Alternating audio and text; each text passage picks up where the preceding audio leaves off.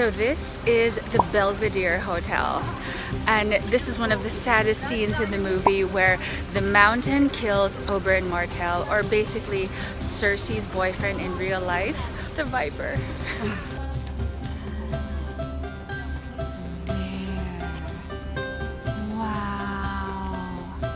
So what I learned is that once upon a time, you know, Yugoslavia was composed of several countries, Croatia being one of them. And then during the war, I believe it was in 1991, and this was bombed and that's why you can see a lot of the graffiti here. It's actually an abandoned hotel. This was the number one luxurious hotel under Yugoslavia. Now, this was also used by the Croatian army, I'm not sure if it's Croatian, Yugoslavian, but the army as a line of defense because, you know, you are above the water. And so in a way, it kind of like became a fortress. And ever since then, it was unfortunately abandoned. But not during Game of Thrones. Now, you see the balcony up there with the flowers, CGI. Where all the royals were sitting, that was real. And then all the I don't know what you call those things, but like the, the nice fences, those were actually made of cartons.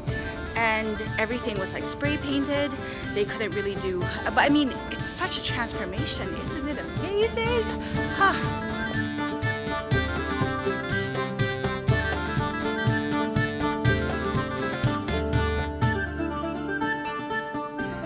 Belvedere Hotel. And now we're making our way to that island. In Game of Thrones, it's Qarth. I used to I used to think it was K-A-R-T-H, but it's actually Q-U-A-R-T-H,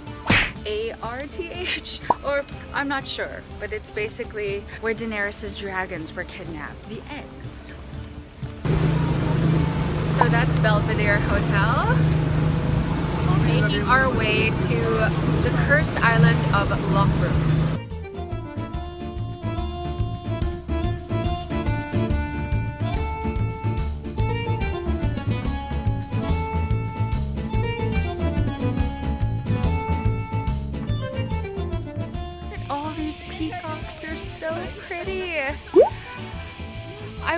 That they were open their wings, but I guess it's not mating season or they don't feel attacked.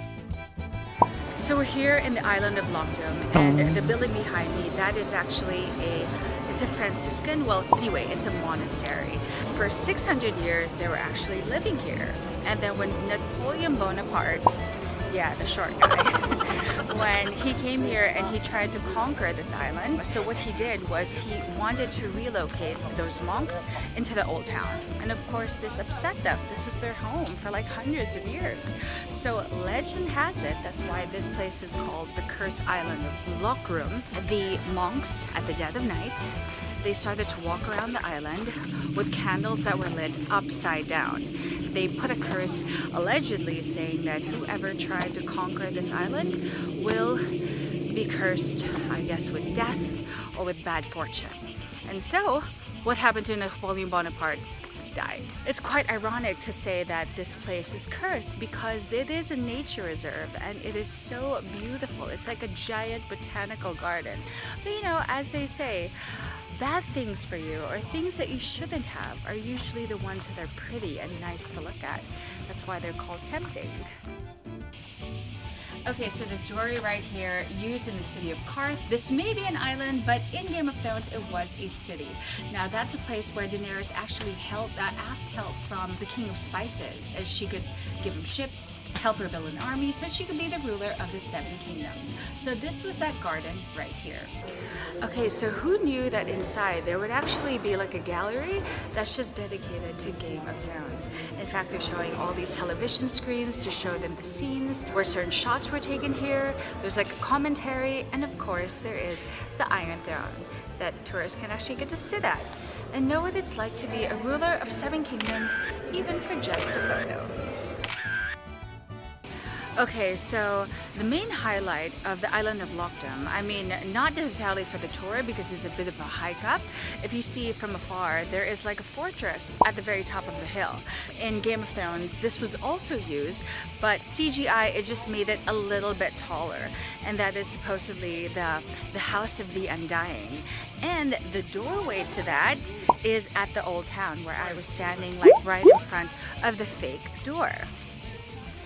Oh, here's the other thing that you need to know. This country is what, 90% Catholic? So they can be quite religious. And so, of course, having to feel bad for the monks that were relocated to the old town, they can be quite superstitious because you'll never know. The curse might be true.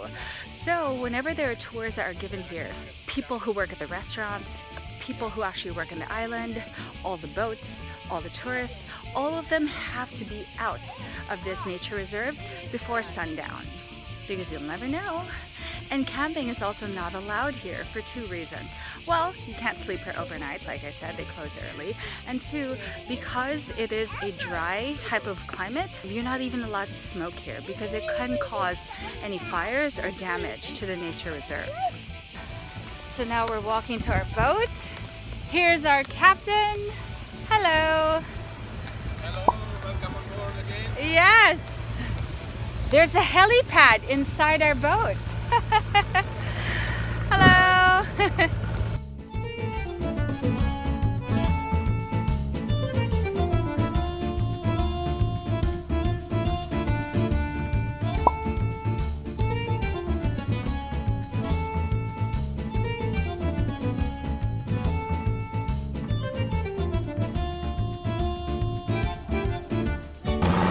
So look at that private cove in the back.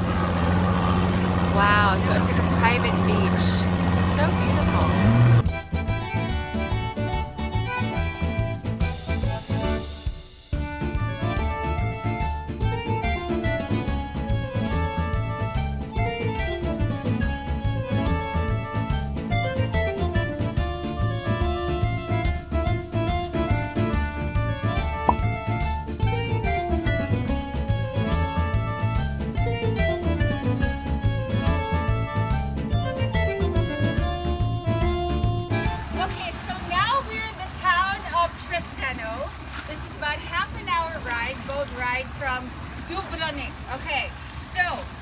I don't have my right arm. I'm Jaime, and this is our tour guide Lana, who is, I'm sorry to be pointing at you, and this is Bronn. And this is basically where the scene where Bronn teaches him how to fight with his left arm. Woo!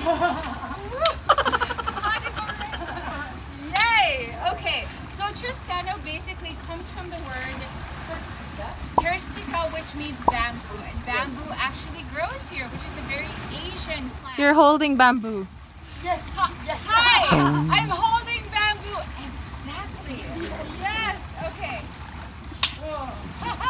Now I'm actually walking to the door to the entrance to this villa.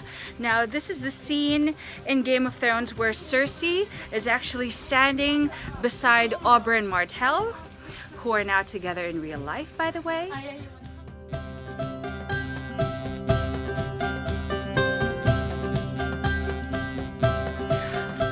So we went up the high, high, high, high, high, high stairs. It was a bit of a hike, but for me, anything to see history and Game of Thrones, I will trek it. I will make the effort. This pathway looks familiar. Getting to that, I don't know what to call it, like a terrace? So this is a scene where Margaery and Sansa are walking and basically Margaery, you know who plays the game really well, is like befriending Sansa. And over there at the terrace, that is where Olenna, the one who killed Joffrey, was sitting with Margaery and asking Sansa, what is Joffrey like? And of course, being so polite and a liar, says, he's very nice and kind. And then basically Olenna says, don't give me bullshit.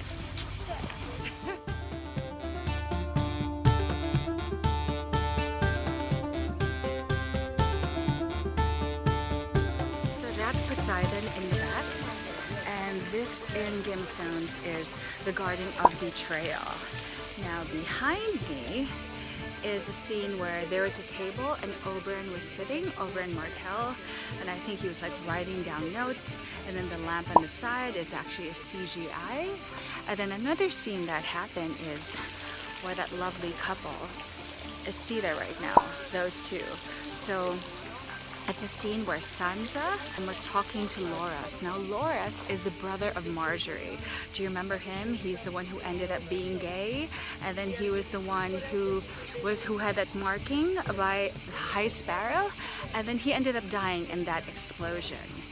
And then last but not the least, the other scene right there where those people are. So Margaery was actually walking with Brienne of Tarth. Now Brienne is that woman who's who protected Jaime, who wanted to protect Catelyn Stark, uh, Catelyn, Catelyn, Catelyn Stark. And basically they're walking and Brienne was actually telling her, you know, I'm going to avenge the death of your king. And then Margaery says to her, no, your king now is Joffrey. So Margaery, she always, she knew the game. She was spot on. Just so sad that she died in the end.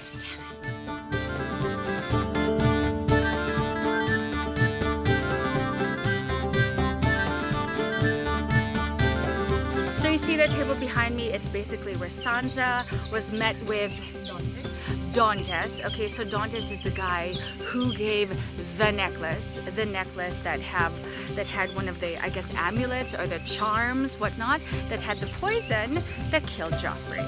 So that happened right there. I made my way down. Oh, so beautiful. Was amazing. It was worth the hike up. A lot of stairs. So worth it. Now we're going back to the boat.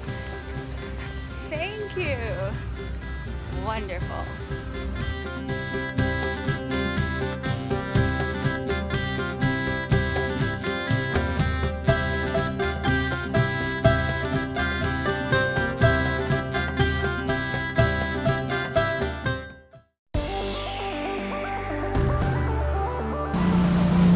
So that's our hotel and the cast of Game of Thrones for the latest season. They were not allowed to leave the hotel and it's so nice to know that we're staying in the same hotel. So so that the paparazzi couldn't get shots of them they weren't allowed to leave. And then for the cast they didn't get any local extras so that everything could be top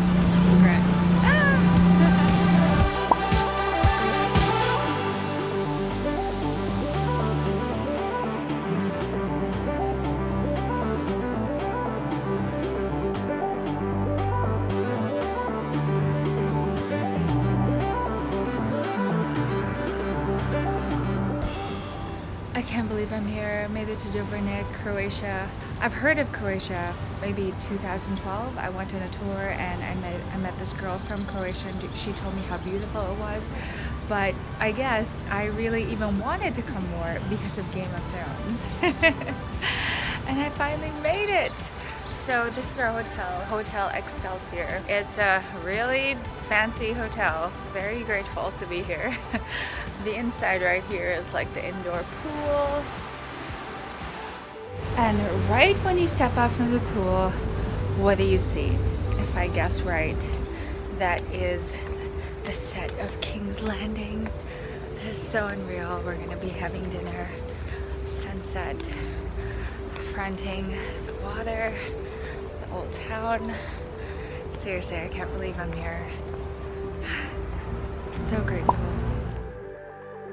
So for dinner, King's Landing in the back. Hey! okay, so I actually got like a quinoa salad, just something refreshing. We've been having pasta and just heavier dishes a lot of this trip, but at least now trying to get back to healthy. And there's a gym here, so I'm quite excited for that. There's like a seafood platter here, and it's so nice to be back in Croatia where the seafood is super, super, super fresh. Oh, sorry guys, morning here. It's not every day, so that's a buffet right there. It's massive, but it's not every day that you come across a buffet that has maca powder, rice protein powder. There's another powder that's ashwagandha powder. Basically, there's like a gluten-free corner. Amazed. Overnight oats, just. One of the things that's hardest to do is when you're on vacation is to eat healthy. So whenever chance you get, like whether buffet breakfast or or any meal that you can, always try to incorporate even just one thing into your diet that, you know, will be good for you. So if you take a look at my bowl, so I have goji berries, I have hemp seeds, maca powder, sunflower seeds, walnuts, which is really, really good, and then there's uh, almonds, um,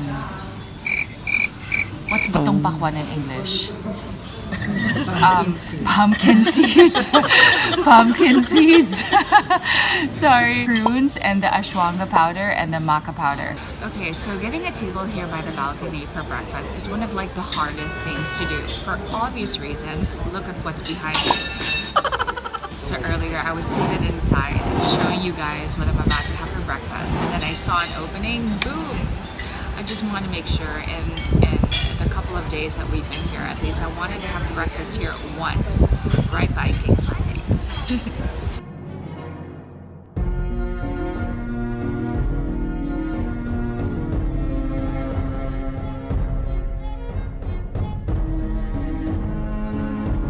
So this is like the piano bar. This is where you lounge. There's an indoor area, really chic contemporary furniture. And then of course there's the outdoor area overlooking King's Landing. And uh, what makes this piano bar quite unique, or I guess special, is because they actually have a gallery of all the famous people who have stayed here in this hotel. Okay, trying to look at the people that I recognize. That's the guy who played Ramses in the Ten Commandments. Yul Brynner, him. And then there's Ted Kennedy, Queen Elizabeth II, we have Princess Margaret, we have Tyrion Lannister, and we have Elizabeth Taylor. And of course, where are you? Jaime Lannister. Love him. And we have da da da Daenerys Targaryen.